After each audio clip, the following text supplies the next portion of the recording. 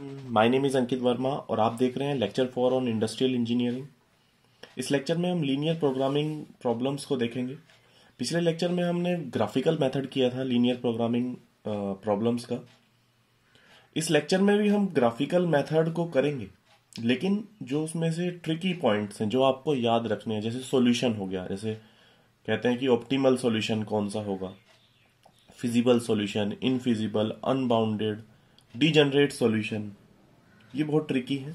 और लेक्चर के लास्ट में हम एक मिनिमाइजेशन की प्रॉब्लम करेंगे, क्योंकि पिछले लेक्चर में हमने मैक्सिमाइजेशन की प्रॉब्लम की थी। इस लेक्चर में हम एक मिनिमाइजेशन की प्रॉब्लम करेंगे, और गेट 2017 में बहुत ही ज़्यादा अच्छा क्वेश्चन आया, जिसमें आपको कुछ नया सीखने को मिलेगा। वो करेंगे। सबसे पहले हम बात करते हैं जो सॉल्यूशंस की मैंने आपको बात बताई। सॉल्यूशंस की। वो क्या क्या होंगे, कैसे हमें लेने हैं। जैसे फिजिबल की बात करें। फिजिबल का हमें पता है, जैसे लाइन बनेगी, ठीक है, इस तरह से लाइन बन जाएगी, ठीक है, और आपके पास कोई ना कोई बाउंडेड रीजन आएगा। मान लेते हैं ये आएगा। बाउंडेड रीजन आएगा, ठीक है? तो इन किसी भी पॉइंट्स पे, इन किसी भी पॉइंट्स पे आपको जो ऑब्जेक्टिव फ़ंक्शन की जो मैक्सिमम या मिनिमम वैल्यू होगी, आपको मिल जाएगी। तो ये तो सिंपल है फिजिबल सॉल्यूशन जो होता है।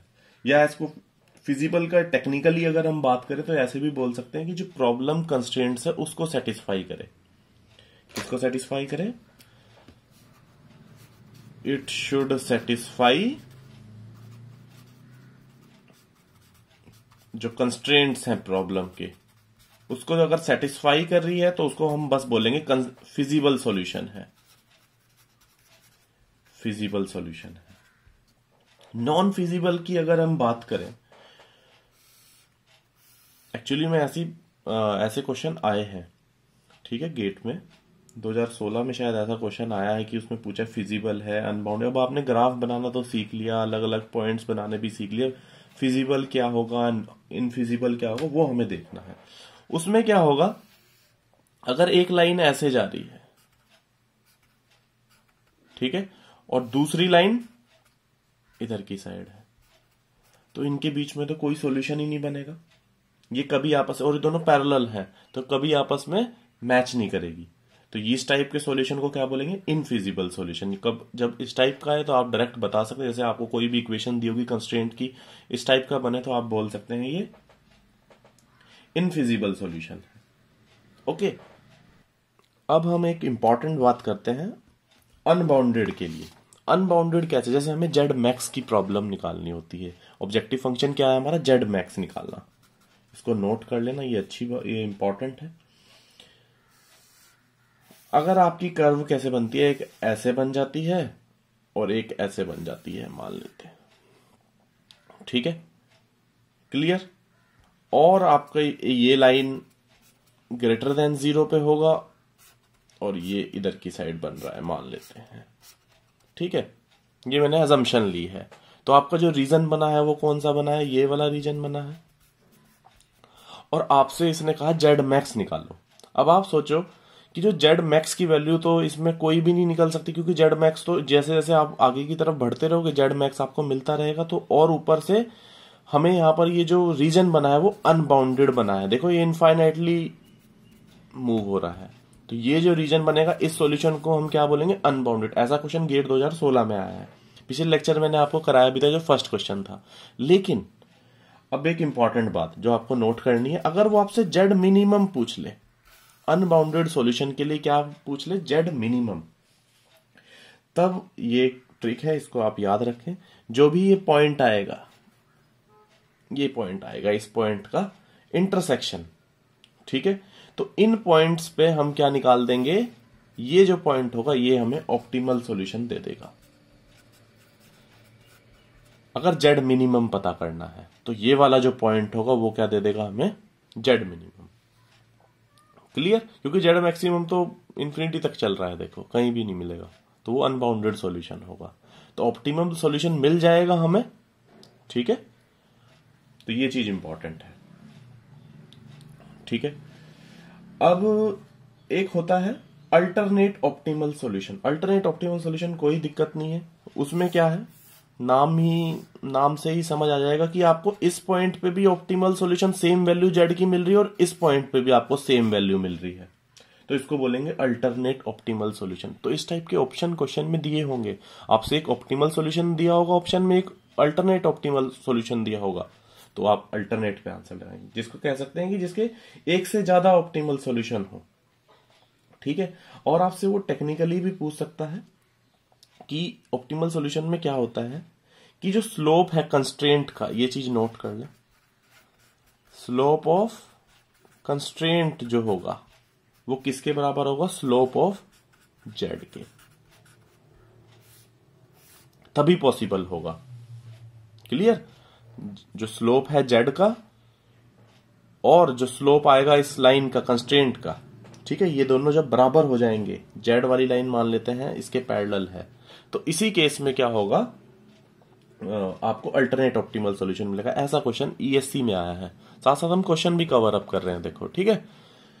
अब सबसे इंपॉर्टेंट जिसके लिए लेक्चर बनाया गया degenerate solution degenerate solution क्या होता है?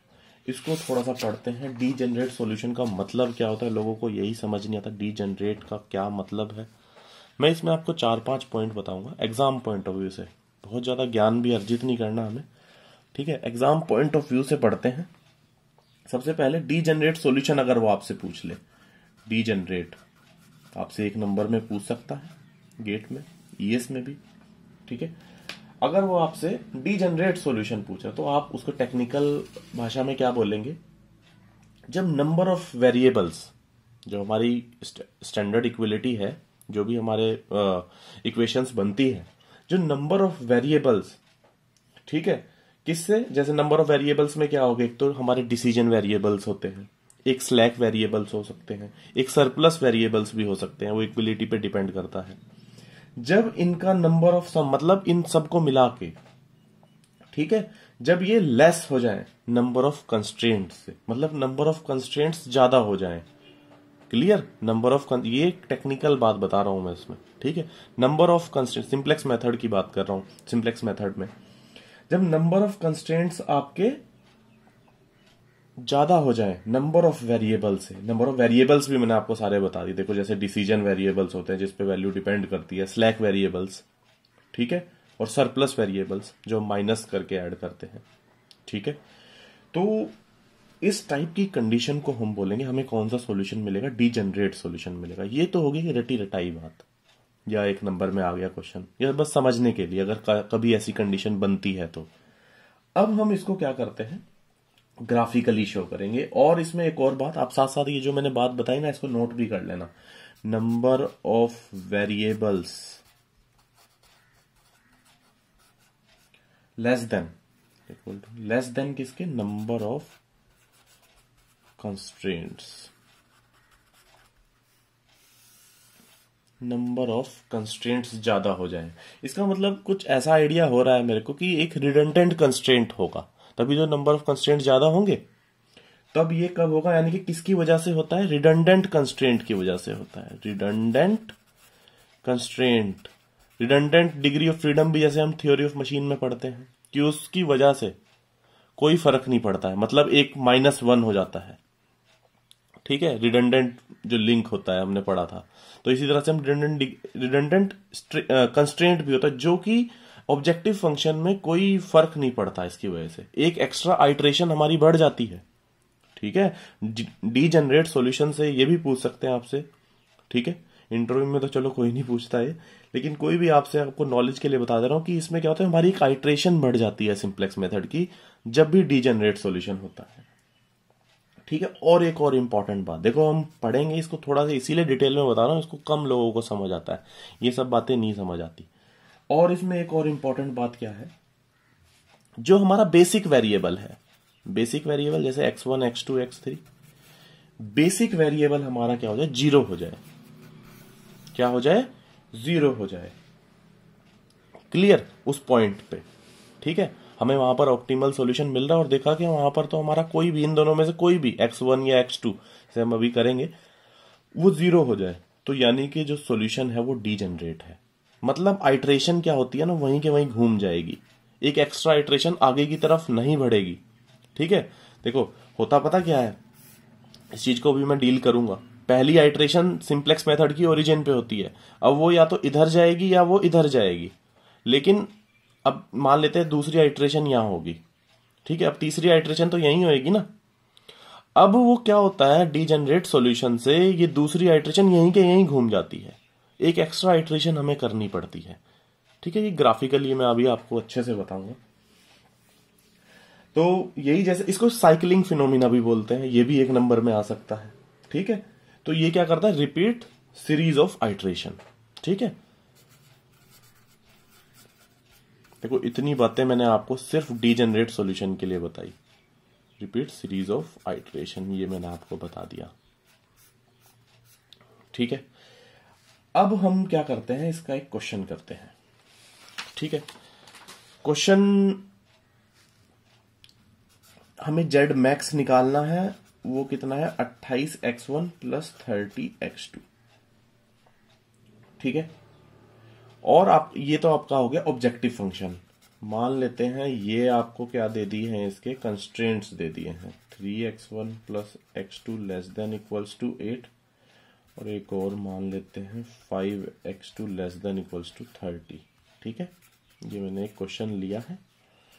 Greater than equal to zero देखो, अब क्योंकि हमने पिछले लेक्चर में ग्राफिकल मेथड अच्छे से समझ लिया था तो मैं थोड़ा सा इसको स्पीडली इसके जो लाइंस बनेंगी, वो थोड़ा सा स्पीडली करूँगा, क्योंकि मैं बता चुका हूँ कैसे लाइंस बनती है। तो पहली लाइन बनाने का तरीका एक्स टू को ज़ीरो तो वो लाइन बन जाएगी हमारी। ठीक है? तो वाई सिक्स आ जाएगा, ये थ्री कोमा ज़ीरो ये zero comma six sketch change कर देते हैं। ये पहली लाइन आई है हमारी। ठीक है? इसी तरीके से दूसरी लाइन भी आ जाएगी हमारी। ठीक है? ये दूसरी लाइन, वो कितनी आ जाएगी यहाँ पर? एक्स टू की वैल्यू एट आ जाएगी और ये एट बाय थ्री यहाँ पर आएगा कहीं ना कहीं। ये एट बाय थ्री है। ठीक है? और ये ज़ीरो कोमा एट है। ठीक है? दूसरी लाइन बन गई। कोई दिक्कत नहीं। तीसरी लाइन में क्या आएगा? आप इसको ज़ीरो रखें। ये साढ़े सात आ जाएगा और इसको ज़ीरो रखें छ आएगा। ठीक है? साढ़े सात कहाँ आएगा? कहीं यहाँ जाके आएगा साढ़े सात? और छ कहाँ पर आएगा? यहाँ पर आएगा। देखो, अब यहाँ पर, अब ये क्या है? लेस देन है। यानी कि ये वाली लाइन लेस देन है। ओरिजिन की तरफ़ जाएगी मतलब। ये वाली लाइन भी ओरिजिन की तरफ़ जाएगी और ये वाली लाइन भी ओरिजिन की तरफ़ जाएगी। तो अब इसमें से, और इस पॉइंट को जो इंटरसेक्ट हुआ, इसको मान लेते हैं, क्या है ये?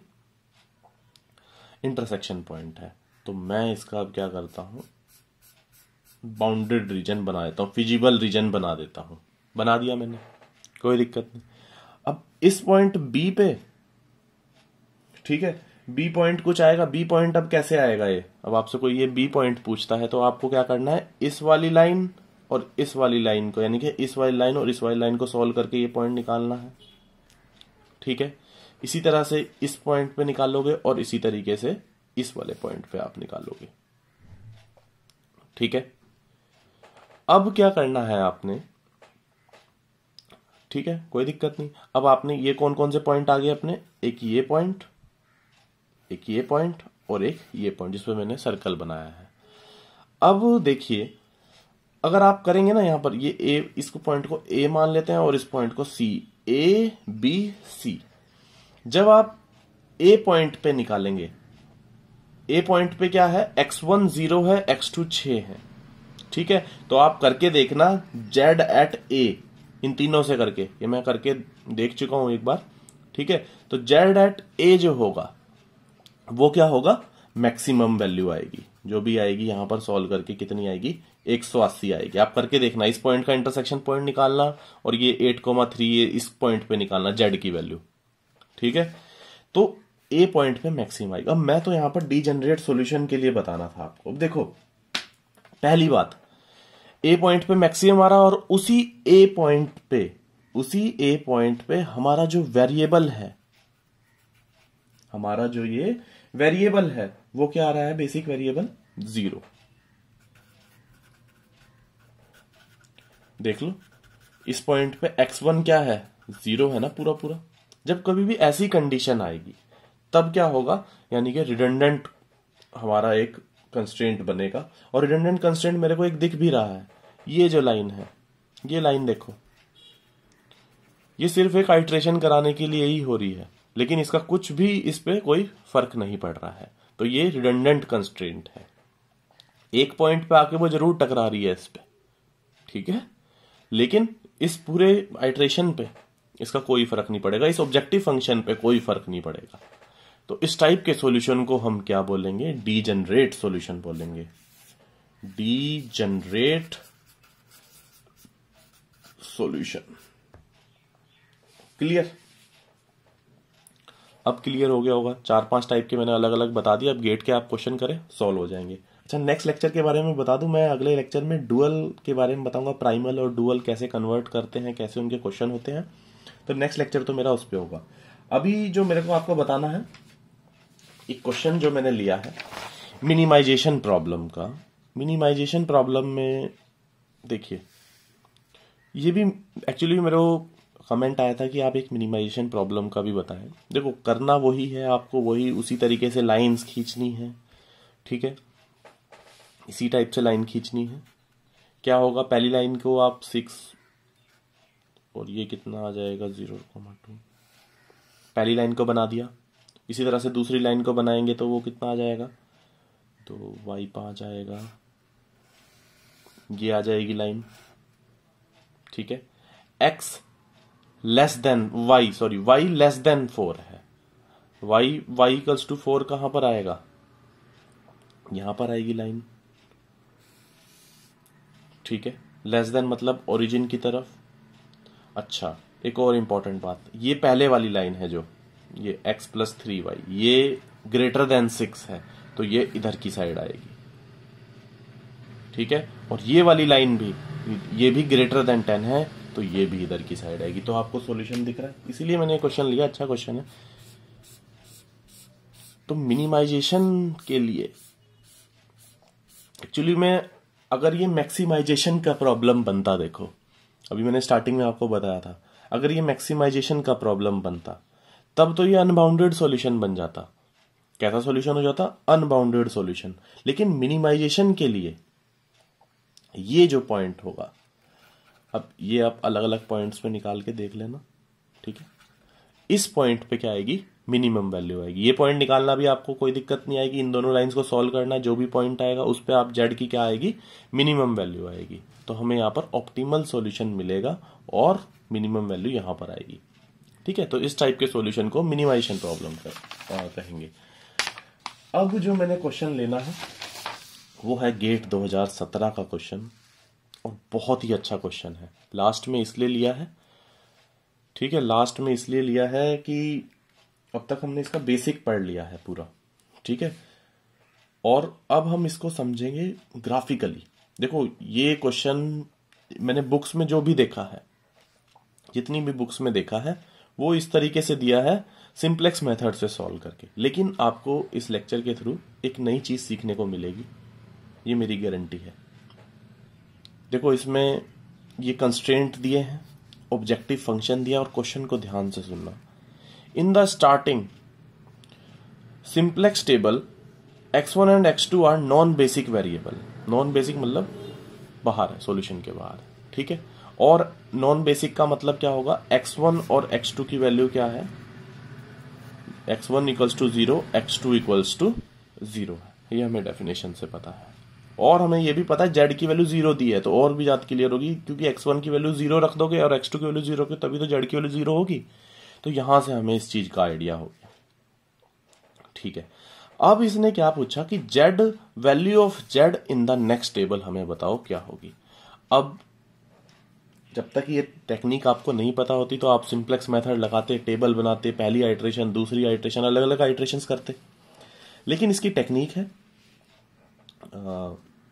इसको देखते हैं क्या ये टेक्निक है कैसे पता लगेगा कि हमें कैसी टेक्निक लगा के सॉल्व सेकंड आइट्रेशन कहाँ को बनानी है हमने कैसे होती है सेकेंड आइट्रेशन कहाँ होती है ये सब चीज़ हम देखते हैं। आ, पहला ग्राफ बनाते हैं ठीक है? एक्स की वैल्यू टेन वाई की वैल्यू फाइव मतलब ये अगर मैं एक्स वन मान लू और ये एक्स टू मान लो। ठीक है? तो इसको दस लो, इसको पाँच लो और ये लाइन खींच दो। ठीक है? ये पिछले लेक्चर में बता चुका हूँ कैसे लाइंस बनती हैं और ये तो इलेवेंथ में ही पता लग गया था।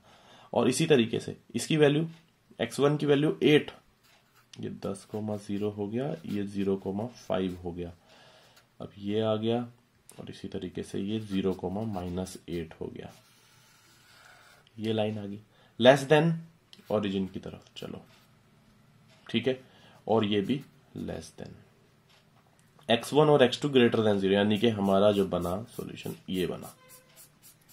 बाउंडेड बाउंडेड कंडीशन आ गई हमारी, क्योंकि फ़र्स्ट क्वाड्रेंट, इसका मतलब क्या होता है? First quadrant. ठीक है? अब देखो, सबसे पहली जो टेबल बनती है ना, वो यहाँ पर बनती है। कहाँ पर बनती है? यहाँ पर। जब X zero Y zero clear अब देखिए, अब ये जो आइट्रेशन होगी हमारी, ये तीन, मैंने चार आइट्रेशन के लिए। अब अगर आपसे कोई इसकी जेड की वैल्यू पूछेगा ग्राफिकली सोचो तो आप क्या करोगे इसमें? आप अलग अलग पॉइंट्स पे चेक करोगे। सबसे पहले आप यही तो काम करते हो, लेकिन इसने घुमाने के लिए क्वेश्चन में। क्वेश्चन इसीलिए ट्रिकी है ये। इसने आपसे क्या कह दिया कि नेक्स्ट टेबल में बताओ जेड की। इसने मैक्सिमम या मिनिमम से नहीं पूछा। इसने जस्ट नेक्स्ट टेबल पूछा। इसने जेड की मैक्सिमम या मिनिमम नहीं पूछी। तो तो उसमें बहुत टाइम लगता अगर आप सिंप्लेक्स मेथड से करोगे तो। सिंप्लेक्स मेथड नाम ही कहते हैं ना आयरनी है तो कि नाम उसका सिंप्लेक्स है। है बहुत लंबा मेथड है। ठीक है? तो हमें चारों पॉइंट्स पे, ये ज़ीरो ज़ीरो हो गया। ये वाला पॉइंट कितना हो गया? एट कोमा ज़ीरो इसी तरह से ये भी कोई पॉइंट आएगा और ये भी कोई पॉइंट आएगा। ठीक है? अब देखो, आपको क्या करना है? पहली आइट्रेशन मैंने आपको बता दी यहाँ। अब जो सिंप्लेक्स मेथड होता है ना, वो सर्कल की तरह चलता है। सर्कल मतलब अब ये दूसरी आइट्रेशन पे या तो यहाँ इस पॉइंट पे जाएगा घूमने, या इस पॉइंट पे जाएगा। ऐसे ही तो होगा ना। अब ये यहाँ से यहाँ थोड़ा चला जाएगा। अब चलेगा तो इसी लाइन के थ्रू ना वो। या तो वो इस लाइन पे जाएगा, वो या इस लाइन पे जाएगा। ठीक है? तो जैसे थर्ड आइट्रेशन भी कई लोगों ने पूछा थर्ड आइट्रेशन तो यही होगी ना, क्योंकि अगर सेकंड आइट्रेशन मान लो यहाँ पर हो थर्ड यहीं पर होगी ना, यहाँ से यहाँ थोड़ा उड़ के चला जाएगा वो। ठीक है? तो इस तरह से चलता है साइकिल अब देखो